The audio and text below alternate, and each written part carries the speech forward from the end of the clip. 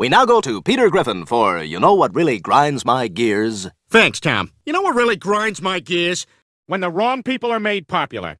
Dr. Disrespect is in trouble once again. The 42-year-old gamer was originally a Twitch streamer, where he found fame and went live to millions of viewers watching him play multiplayer games and rage at them. However, one day his Twitch channel was banned, and there was no reason released as to why. Now, jump four years to the present, and allegations have finally been released. Though not an exact source, a tweet was sent out stating the streamer was banned because he was messaging and trying to meet up with a minor. Furthermore, Dr. Disrespect replied stating he was messaging a minor, but was not going to go through with ill intentions. The result has ended, with the streamer now being fired from his company. Man, this reminds me of our weird old neighbor Herbert.